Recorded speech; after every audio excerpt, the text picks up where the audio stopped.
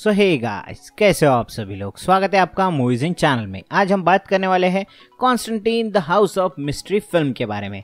जी हाँ दोस्तों फाइनली ये फ़िल्म रिलीज़ हो चुकी है। एक्चुअल में ये फ़िल्म नहीं शॉर्ट्स बोलेंगे क्योंकि 26-27 मिनट का ही ये एक शॉर्ट हमें देखने को मिलता है। इसमें अपोकलिप्स वॉर के बाद की कहानी हमें जानने को मिलती है कि एक्चुअल में उसके बाद जॉन कॉन्स्टेंटीन का क्या हुआ था। तो वही से कंटिन्यू होती है कहानी जहाँ पर अपोकलिप्स की कहानी खत्म होती है। और एक बात दोस्तों कि डीसी के बाकी शॉर्ट्स की तरह या फिर बाकी मूवीज़ की तरह आप इसको जज मत करना। एक नॉर्मल कॉन्स्टेंटीन की मूवी है, उस टाइप में ही आप जज करो, क्योंकि एक अमेजिंग मिस्ट्री तो है ही इस पूरे शॉर्ट के टाइम में, जो कि हमें लास्ट में पूरा ओपन होते हुए नज़र आती है, जो कि एक अमेजिंग वे में भी ओपन होती है। अगर इस मूवी की बात की जाए, इस शॉर्ट की, ये एक्चुअल में पूरी इंस्पायर्ड है डॉक्टर हु से। जैसे डॉक्टर हु में हमें लूप देखने को मिलते हैं, उसी तरह से लूप इस शॉर्ट में भी हमें देखने को मिलते हैं, जो कि हमारा सिर चकराने के लिए कामयाब भी होते हैं। तो चलिए आइए, मिलके करते हैं कॉन्स्टेंटीन हाउस ऑफ़ मिस्ट्री का पूरा एक्सप्लेनेशन तो लेट्स बिगिन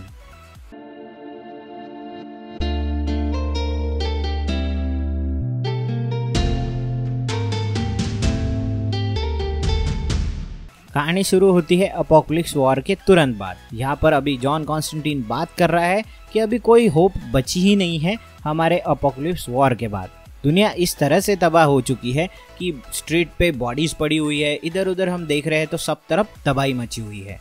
हम जीत तो गए, मगर सब लोगों ने किसी ना किसी को खोया है, जिस तरह से मैंने भी जटाना को खोया है, जो कि इस पूरी जंग का जिम्मेदार भी है। और ये इस तरह से जख्म दिए हुए हैं कि टाइम भी आ जाए, इसमें टाइम भी लग जाए, फिर भी ये भर के नहीं आएँगे। इसी के बीच जॉन कॉन्स्टेंटीन को आता है एक आइडिया जहाँ पर ये सारे लोग अभी दुखी में हैं, फिर भी उसको एक आइडिया आता है जो कि फ्लैश को फ्लैश पॉइंट करने के लिए मजबूर कर देता है। जहाँ पर वो फ्लैश को बताता है कि तुम फ्लैश पॉइंट क्रिएट करो, तुम्हारी स्पीड फोर्स की मदद से, जिससे पास्ट रीराइट तुम कर सको और मैं मेरे मैजिक के बदौलत डार्क साइड को हमें ढूँढने से दूर रखूँगा। पास में इस तरह से चीज़ें हो चुकी है, इसलिए जॉन ये सोच रहा है कि ये सारी जो चीज़ें हैं, ये मैं खुद मेरे बलबूते पे करूँगा और मैं ही इसी में नज़र रखूँगा। चाहे जिसके लिए मुझे कुछ भी कीमत देनी पड़े, वो चुकाने के लिए मैं रेडी हूँ। और इसी नोट पे फ्लैश भागता है अपनी स्पीड फोर्स की मदद से, जो कि फ्लैश पॉइंट क्रिएट करने में कामयाब हो जाता है और पास में चला जाता है। जहाँ अभी जॉन खुद से बात कर रहा है कि ये सबसे बड़ी नोबल चीज़ मैंने कर दी है मेरे साथ। अब देखना यह होगा कि ये कितने कॉस्ट में गिरेगा मुझे, यानी कितना ज़्यादा नुकसान मुझे इसका झेलना पड़ेगा। फिर आता है शॉर्ट का logo Constantine the House of Mystery इसके बाद ये उठता है एक घर के अंदर, जहाँ पर बहुत सारे डोर्स हमें देखने को मिल रहे हैं। जिस भी डोर से वो जाता है, उसमें कुछ ना कुछ मिस्ट्री भरी पड़ी है, जिस तरह से हमें मिस्ट्री कॉमिक्स में देखा भी है। अब फ़र्स्ट टाइम ये एक डोर से एंटर करता है तो वो पिछले डोर से निकलते हुए हमें नज़र आता है। जहाँ पर उसे पता चल जाता है कि ठीक है, कोई दिक्कत नहीं है। एक डोर से घुसो, दूसरे डोर से निकलो और वहीं पे आ जाओ। फिर वो आगे बढ़ता है, एक दूसरे कमरे में देखता है, जहाँ पर बहुत ही ज़्यादा सीढ़ियों का जंजाल हमें नज़र आता है, जो कि एक दूसरे से कनेक्टेड होती है। तो जॉन, ये रास्ता ना चुनते हुए वो एक अलग डोर के पास पहुँच जाता है। जैसे ही वो डोर ओपन करता है तो उसे उसके फ्रेंड्स देखने को मिलते हैं, जो कि पार्टी कर रहे हैं और उसे कहते हैं कि, सरप्राइज़! जहाँ पर ये लोग इसकी फिफ्टी हो चुकी है, इस वजह से सेलिब्रेट कर रहे हैं। तब जॉन को कुछ अलग फील होता है तो वो पीछे भी देखता है। जैसे ही वो पीछे देखता है तो सामने से आ जाती है जटाना, जहाँ वो कहती है कि आज का दिन है तुम्हारा रात का फैमिली और फ्रेंड्स के साथ बिताने का।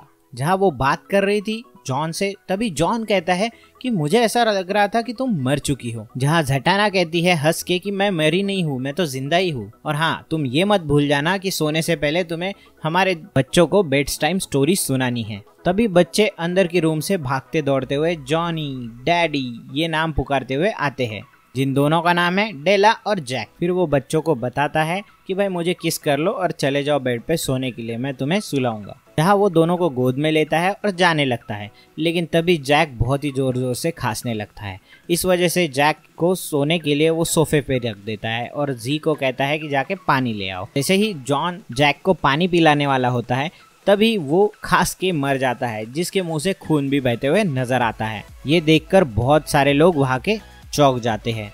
अब जॉन बहुत ही ज़्यादा डरा हुआ हमें नज़र आता है, जहाँ पर उसकी बेटी डेला जो है, वो भी खांसते हुए दिखती है और वो भी मुँह से खून निकलने के बाद मर जाती है, जहाँ वो अपने दोस्त जेसन को कहता है कि, डॉक्टर को तुम्हें बुलाना चाहिए, जल्द से जल्द। पर तभी जेसन को भी खांसी चालू हो जाती है और देखते ही देखते रूम के अंदर के सारे लोग खांसने लग जाते हैं और एक एक करके सब लोग मर जाते हैं। उसमें जटाना भी शामिल होती है, सिर्फ़ जॉन ज़िंदा रहता है। जहाँ वो मदद के लिए पुकारता है, लेकिन कोई नहीं आता। और तभी जटाना उठ जाती है। जहाँ जॉन को लगता है कि अभी जटाना तो ज़िंदा है तो कोई दिक्कत नहीं है, लेकिन देखते ही देखते सब लोग उठ खड़े हो जाते हैं। तभी वो बोलता है कि, रिची, अगर तुमने ये सब कुछ किया है तो मैं मेरे मैजिक से तुम्हें मार दूँगा। फिर बच्चे आवाज़ करने लगते हैं तो वो बच्चों की तरफ़ देखता है, जो कि बच्चे डीमंस में कन्वर्ट हो चुके हैं, जो बोल रहे हैं कि, तुम यही डिजर्व करते हो। और वो जॉन पर अटैक कर देते हैं। फिर सभी मेंबर्स डीमंस में कन्वर्ट हो जाते हैं और कहते हैं हैप्पी बर्थडे जॉन और जॉन पर झपट्टा मारते हैं और उसको खाने लग जाते हैं। इसके बाद जॉन फिर से उठता है। अब वो खुद को उसी जगह पर पाता है, जैसे मूवी के स्टार्ट में हमने देखा है कि हाउस ऑफ़ मिस्ट्री के अंदर वो खड़ा हुआ है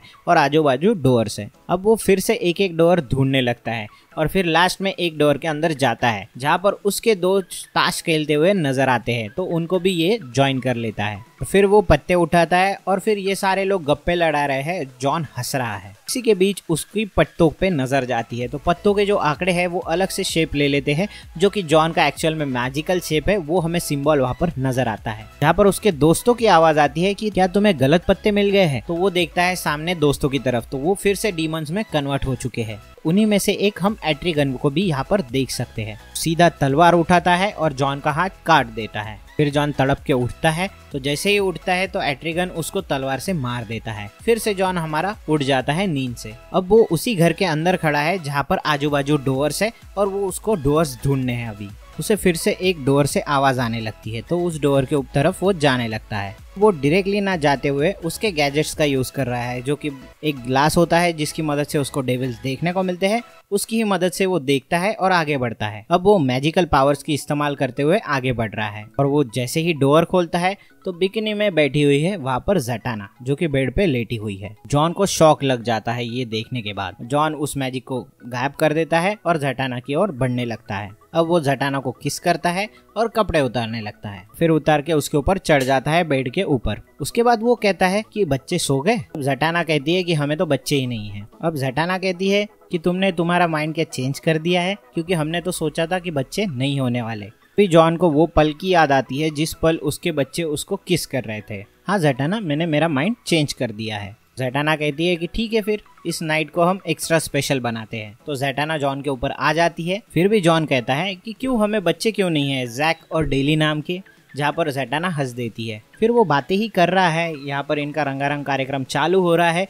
तभी वो बातें करते करते रुकता नहीं है। तो ये जो जटाना है, ये डीमन में कन्वर्ट हो जाती है और कहती है कि तुम तुम्हारा दिमाग शांत क्यों नहीं रखते हो एक जगह पर? ना कह के उसकी मुंडी क्रॉस कर देती है। फिर से अपना जॉन उठता है उसी जगह पर, जहाँ पर हाउस के अंदर उठता है वो और देख रहा है कि उधर उधर डोर ही डोर्स है। तो वो एक डोर खोल भी रहा होता है। अब जॉन को पता चल चुका है कि भाई ये मिस्ट्री से भरा हुआ पूरा घर है तो यहाँ से मुझे भागना चाहिए। तो वो इधर उधर भागता है, डोर्स खोलता है, फिर उसी जगह आ जाता है। इधर उधर से फिर भागता है, फिर उसी जगह आ जाता है। फिर वो सोचता है कि स्टेयर्स से भाग लेते हैं तो स्टेयर्स के डोर के अंदर जाता है और स्टेयर्स से भागने लगता है। और आखिरकार वो मेन डोर तक पहुँच जाता है। और फिर एक लैम्प का यूज़ करके वो एक विंडो को फोड़ने लगता है, ताकि वो वहाँ से बाहर भाग सके। लेकिन जैसे ही वो वॉल ब्रेक करता है, वो जो ग्लास ब्रेक करता है तो उसके पीछे एक्चुअल में वॉल ही है ना कि कोई विंडो है। फिर अब वो मैजिक का इस्तेमाल करके उस डोर को फोड़ देता है और बाहर भागता है। बाहर आने के बाद वो देखता है कि वो एक अनजानी सुनसान जगह पर है, जहाँ पर कुछ भी नहीं है, बस पेड़ पौधे हैं जो कि सूखे हुए हैं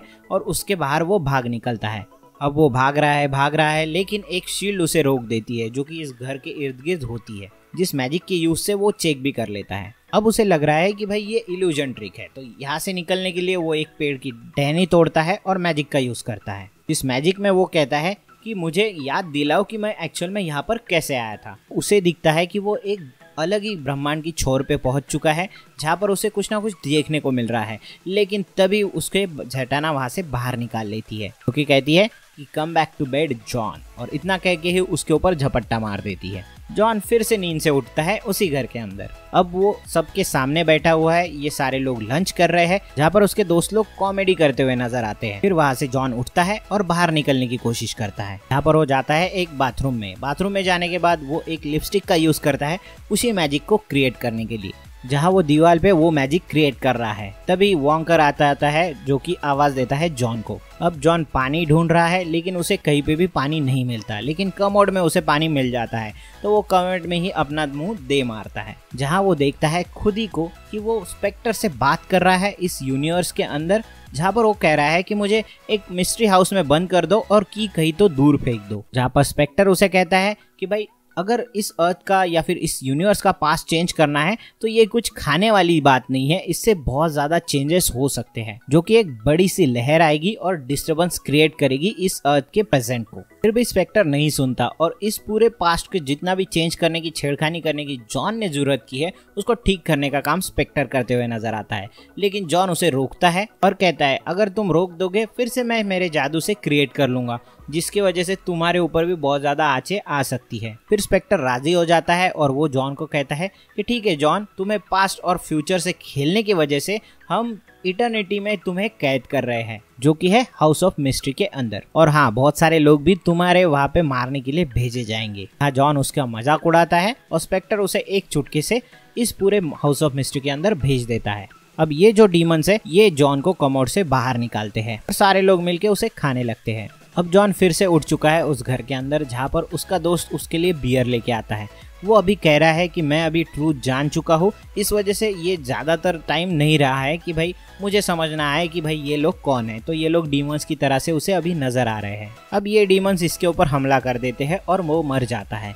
फिर से वो उठता है, फिर से ये डीमंस उस पर हमला करते हैं, वो मर जाता है। जहाँ पर वो ये भी कह रहा है कि हाँ मेरे दोस्तों से ही मुझे मारा जा रहा है और टाइम बार टाइम टाइम बर टाइम यानी हर टाइम मुझे मारा ही जा रहा है। जहाँ पर वो उसकी शक्तियों का इस्तेमाल करते हुए, उन्हें रोकते हुए भी नज़र आता है, लेकिन वो उन्हें रोक नहीं पाता और कोई ना कोई डीमन उसे मार देता है। फिर से ये लूप अगेन स्टार्ट हो जाता है। अब जॉन कह रहा है कि मुझे ऐसा लगता था कि मैं यहाँ से बच सकता था, लेकिन नहीं स्पेक्टर ने ऐसा जादू चलाया है कि मैं यहाँ से कभी निकल ही नहीं पाऊँगा और हर बार मुझे मरना भी पड़ेगा। अब इस लूप में हमें कई कई तरीके देखने को मिलते हैं जिससे जॉन मर रहा है। एक, कई बार तो खुद के ही वे से मर जाता है कई कई बार खुद ही भागते दौड़ते मर जाता है। कुछ कुछ टाइम पे उसे लगता है कि उसने सारे डीमंस को मार दिया तो वो पेड़ उठ खड़ा हो जाता है और उसे खा लेता है। इस तरह से ये लूप कंटिन्यू चलते रहता है और एक के बाद एक उसकी डेथ अलग अलग टाइप फॉर्म में होती रहती है। मेजरली इसमें डेथ इन लोगों के खाने के बाद ही होते हुए नज़र आती है। अब बहुत टाइम गुजर चुका है और जॉन ऐसी तरह से मरते हुए नज़र आता है।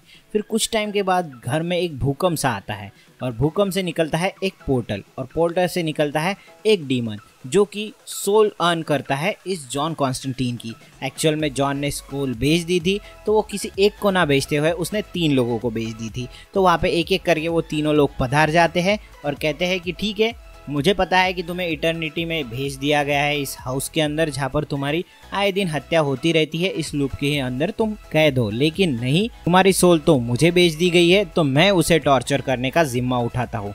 ऐसे ही करके वो तीनों लोग आ जाते हैं और एक एक करके झगड़ रहे हैं कि अभी मेरे पास भी कॉन्ट्रैक्ट है, मेरे पास भी कॉन्ट्रैक्ट है, मेरे पास भी कॉन्ट्रैक्ट है और वो तीनों झगड़ रहे हैं। इसी का फ़ायदा उठाते हुए जॉन कॉन्स्टेंटीन मैजिक का इस्तेमाल करता है और उन तीनों को वहाँ पर बाँध देता है और उस पोर्टल का इस्तेमाल करके वहाँ से भाग जाता है। और जाते जाते जॉन इन तीनों का नाम बता जाता है, जो कि है बटरफ्लाई सिटन्स और शाइट, जहाँ जॉन ये भी कहता है कि हाँ मैंने ये जानबूझ में किया था क्योंकि तुम तीनों आओगे और यहाँ से मुझे छुड़ा दोगे। इस वजह से ही ये ट्रिक मैंने अपनाई थी। अब जॉन इस मल्टीवर्स की दुनिया में फंस चुका है, जहाँ पर वो वॉक कर रहा है कि सब तरफ़ दुनिया ही दुनिया है, यानी एक यूनिवर्स का एक ऐसा हिस्सा जहाँ से पास फ्यूचर में प्रेजेंट में वो जा सकता है। जहाँ पर स्पेक्टर के साथ डील हुई थी वो यही जगह थी। और अब जॉन आगे देखता है तो उसे स्पेक्टर दिखाई देता है। जो स्पेक्टर उसे उठाता है और उसे कहता है कि मैंने तो तुम्हें इटर्निटी में भेजा था तो तुम वहाँ से वापस कैसे चले आए और रूल कैसे तुमने ब्रेक किया? जहाँ पर जॉन बोलता है कि ठीक है, मैं वापस चला जाता हूँ। लेकिन स्पेक्टर उसे जाने नहीं देता और उसे उठा लेता है। अब जॉन ये कह रहा है कि तुमने मुझे ऐसे लूप में फंसा दिया था जहाँ पे मुझे निकलना बहुत ही ज़्यादा पॉसिबल नहीं हो रहा था। फिर भी मैं निकल आया क्योंकि तुमने मेरे ही दोस्तों को डीमंस बना दिया और वो मुझे ही मार रहे हैं। अब यहाँ पर स्पेक्टर का कहना एकदम ही सिंपल था कि भाई, मुझे ऐसा लग रहा था कि ये जो तुम्हारे दोस्त है, वो ही तुम्हारे साथ इटर्निटी में रहेंगे, जहाँ पर तुम्हारा ड्रीम था इन दोस्तों के साथ रहने का, जो कि एक एंडलेस परफेक्ट ड्रीम होता तुम्हारे लिए, जहाँ पर तुम्हें लगता है कि तुम अनवर्दी हो हैप्पीनेस के लिए। और तुमने जो पास्ट में गलतियाँ की है, उसी वजह से तुमने ये लूप चुना था। जहाँ पर जॉन कहता है कि हाँ ये तो सही है, जो कि मैंने खुद नहीं किया है। जहाँ पर वो कहता है कि मेरे दोस्तों को मैंने मॉन्स्टर बना दिया है तो अब इसकी आँखें खुल चुकी है। जहाँ पर जॉन उसे कहता है स्पेक्टर से कि ठीक है, मुझे एक्सेप्ट है सारी चीज़ें, अब नो मोर मैजिक ट्रिक्स जहाँ पर मैं अंदर रहूँगा हमेशा के लिए। अब स्पेक्टर कहता है कि तुम जिस होल से वापस आए थे, वो तो बंद हो चुका है तो तुम अब वापस नहीं जा सकते। तो स्पेक्टर आखिरकार तुम मुझसे क्या चाहते हो? तो वो दिखाता है लिविंग थिंग यूनिवर्स जहाँ पर हम जैसे ही लोग रहते हैं। उसे अभी अच्छा लगने लगता है कि हाँ मैं वो चीज़ देख रहा हूँ जो कि इस तरह से लिविंग थिंग है, ये यूनिवर्स है। पर स्पेक्टर कहता है कि तुम सेल्फिश हो जॉन जहाँ पर तुमने तुम्हारी ज़िम्मेदारी पर इस यूनिवर्स को बहुत ही ज़्यादा तोड़ा है, बहुत ही ज़्यादा दिक्कतें दी है, जो कि इसका रूल तुमने ब्रेक किया है। अब टाइम आ चुका है कि यूनिवर्स उसकी प्राइस तुमसे चुकाए अब जॉन भीख मांग रहा है कि इंस्पेक्टर ये होने मत दो, मुझे जाने मत दो, मुझे रोक के रखो। लेकिन इंस्पेक्टर ऐसा कुछ नहीं करता है और वो उस लिविंग थिंग के अंदर खींचा चला जाता है जॉन जहाँ जॉन स्पेक्टर को पावर यूज़ करके खुद को मारने की भी बात कह रहा है। इसी के साथ जॉन उस लिविंग थिंग के अंदर चला जाता है, उस यूनिवर्स के अंदर, और वहाँ से स्पेक्टर निकल जाता है। इसी नोट पे दोस्तों ये शॉट हो जाता है खत्म। दोस्तों ये जो शॉट है Constantine the House of Mystery वाला, ये अमेजिंग शॉट रहा है, जिसमें हमें एक्चुअल में अलग अलग लूप देखने को मिलते हैं, जो कि एक अमेजिंग बात हो जाती है। बीच में थोड़े बहुत लूप्स बोर होने लगते हैं तो उन्होंने बहुत सारी चीज़ें और ऐड कर दी है, जिस तरह से आपने देखा भी होगा। तो आपका क्या कहना है Constantine the House of Mystery short के बारे में? वो नीचे कमेंट करके ज़रूर बता देना दोस्तों।